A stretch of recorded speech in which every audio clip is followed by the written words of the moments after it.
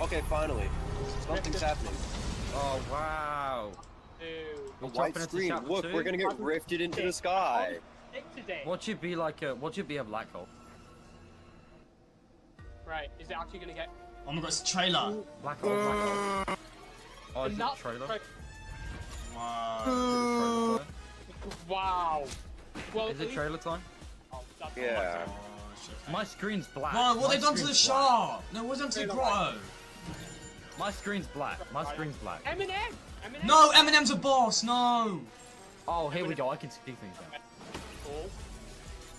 Midas. Oh, wow. I really don't like the theming of this at all. Yeah, just bring me back to chapter two, to be honest. I like Literally that. just like, dude. No. What a Snoop Dogg. How have they fumbled? No, they've taken over the fucking agency. Do not fuck agency up like that. How have uh, no no no? Can someone? Ooh wait. What the actual? How have they fumbled chapter two? What is this? this. How do you make? How do you fumble? What have they done? It's done? literally the easiest thing to do. Wait, is this a guys Snoop Dogg agency?